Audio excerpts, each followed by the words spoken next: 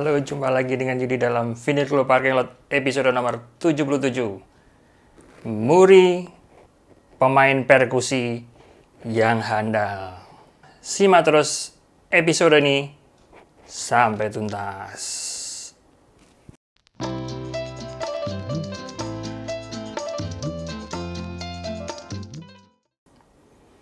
Perkusi diadopsi dari bahasa Inggris percussion yang artinya memukul atau mengetuk. Sehingga dalam hal ini perkusi adalah alat musik di mana untuk menimbulkan bunyi atau menimbulkan suaranya adalah dengan cara memukul, mengetuk, mengocok, menggosok, dan lain sebagainya. Seperti contoh alat-alat seperti contoh, alat-alat musik adalah seperti drum, kemudian bongo, konga, simbal, timpani, marakas, icik-icik. Apa itu icik-icik ya? Icik-icik itu adalah tamborin, kemudian ketipung, kemudian gamelan sendiri itu adalah alat musik perkusi, bahkan piano pun sebenarnya adalah alat musik perkusi. Oh iya, kobel, alat musik yang seperti kelondong sapi itu pun juga disebut perkusi. Nah, di sinilah letak kehebatan dari Muri. Muri adalah seorang pemain musik yang cukup komplit dalam hal bermain perkusi, karena di samping Muri adalah pemain drum yang sangat piawai, Muri juga adalah seorang pemain perkusi yang handal. Banyak sekali lagu-lagu Coast Plus yang menunjukkan kehebatan Muri bermain perkusi. Salah satu yang sangat fenomenal menurut catatan saya adalah permainan Muri di dalam albumnya Coast Plus Pop Melayu.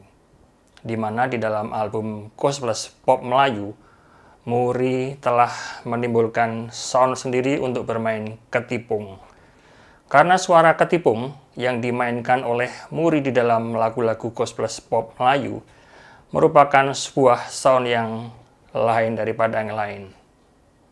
Seperti yang ditunjukkan di dalam album-album gospel berikut ini. Di dalam album gospel Pop Melayu Volume 1 ini, di mana album ini diterbitkan pada bulan Agustus tahun 1974. Nah, mulailah di dalam album ini, Muri kelihatan sekali adalah pemain perkusi yang handal. Sebenarnya lagu-lagu model album Cosplus Pop Melayu ini sudah mulai dirintis oleh Cosplus sejak volume 9, di mana dalam album volume 9 tersebut ada lagu yang berjudul Olala. Di situlah Muri kelihatan sekali bermain perkusi, bermain ketipung bahasa Jawanya atau bongo di dalam bahasa Latinnya. Akan tetapi di dalam lagu Olala tersebut lebih berbau Latin daripada irama pop Melayu. Saya rasa album Kos Plus Pop Melayu volume 1 ini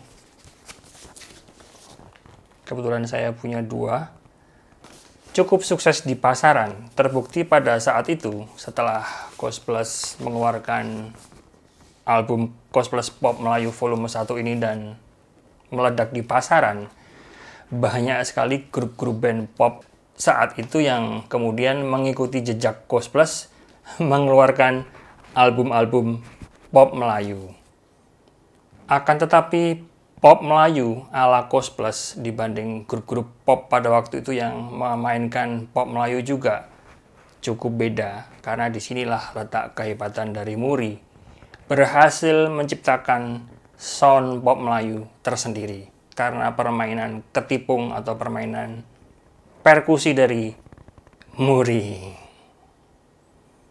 Nah, kesuksesan Cosplus Pop Melayu Volume 1 kemudian dilanjutkan Cosplus merilis album Pop Melayu Volume 2 yang diterbitkan pada bulan Januari tahun 1975. Seperti ini.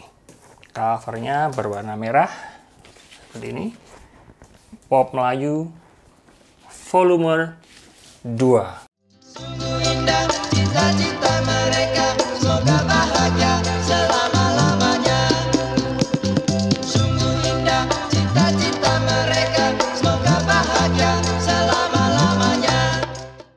Kemudian ada juga lagu yang berjudul Ma Engket.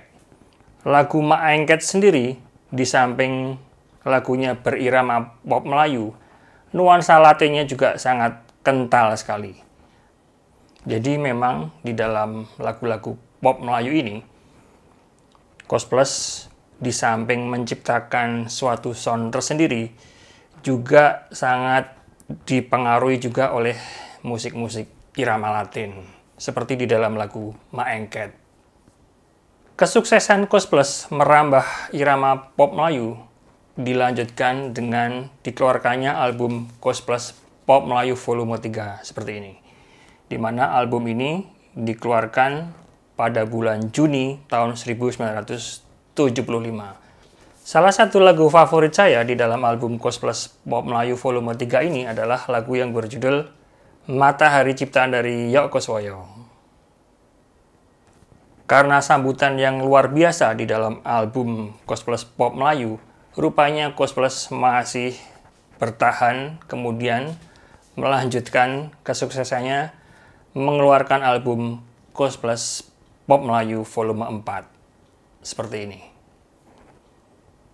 Nah ini album volume 4 Pop Melayu dikeluarkan pada bulan Oktober tahun 1976. Jadi ini sudah masuk era tahun 76. Rupanya album Cosplus Pop Melayu volume 4 ini adalah volume Pop Melayu Cosplus terakhir bersama label Remago.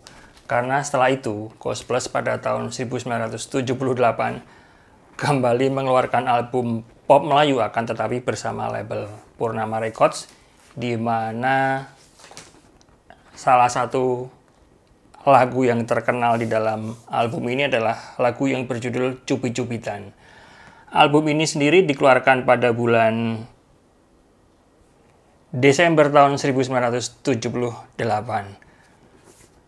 Lagu Cupi-Cupitan cukup meledak karena begitu sangat dikenal pada saat itu. Akan tetapi menurut saya mulai album Cupi-Cupitan ini lagu-lagu pop Melayu Kos Plus rupanya sudah mulai agak bergeser dibandingkan pada saat Kos Plus masih bersama Remako album Kos Plus Pop Melayunya karena lagu-lagu yang ada di dalam Kos Plus Pop Melayu album Remako syair-syairnya begitu mendalam sedangkan mulai tahun 78 mulai Purnama Records syairnya tidak begitu semendalam Kos Plus Pop Melayu semasa masih di Remago. Dan permainan ketipung atau permainan bongo muri pun juga sudah mulai agak berubah. Karena di dalam album ini, permainan musik atau permainan bongo atau ketipung dari muri sudah cenderung ke arah musik dangdut. Sehingga mungkin saya boleh mengatakan ini adalah album pop dangdut dibandingkan sebagai pop Melayu. Kesuksesan dengan Kos Plus Pop Melayu volume 1 bersama Purnama Records dilanjutkan dengan Kos Plus Pop Melayu volume 2 di mana biasa juga disebut albumnya adalah Angin Bertiup seperti ini. Yang album ini diterbitkan pada bulan September tahun 1979. Dan lagi-lagi irama pop Melayunya juga cukup jauh berbeda dibandingkan dengan masa Kos Plus Pop Melayu bersama Remako. Bahkan ini ada satu lagi yang cukup unik menurut saya. Kos Plus masih lagi mengeluarkan album pop Melayu, bahkan boleh dikatakan ini adalah lagu dangdut asli. Karena di dalam album yang dikeluarkan pada bulan Mei tahun 1981 ini, di dalam covernya benar-benar tertulis bahwa di sini tertulis joget dangdut masa kini. Kemudian ada tulisan Kos Plus Ngamen Oke Bos. dan iringan musiknya pun bukan oleh pemain-pemain cosplay sendiri yang main musik. Yang main musik di dalam album ini adalah Orkes Melayu Bangladesh. Label dari album ini adalah Usaha Remaja Records. Nah, begitulah perjalanan Cos Plus. Album-album pop Melayu telah mengalami transformasi dari pop Melayu kemudian menjadi pure dangdut. Kalau saya disuruh memilih, lebih bagusan mana era pop Melayu Cos Plus semasa di Remako atau Cos Plus pop Melayu di luar Remako, maka saya lebih prefer semasa Kos Plus mengeluarkan album-album pop Melayu bersama Remako. Karena permainan perkusi, permainan ketipung, permainan bongo dari Muri telah menjadi ciri khas dari Kos Plus dalam memainkan lagu-lagu pop Melayu. Nah, itu tadi sedikit cerita mengenai Muri adalah pemain perkusi yang handal karena berhasil menciptakan sound tersendiri di dalam album Kus Plus Pop Melayu. Sampai ketemu. Jangan lupa subscribe, like, dan share. Salam sehat.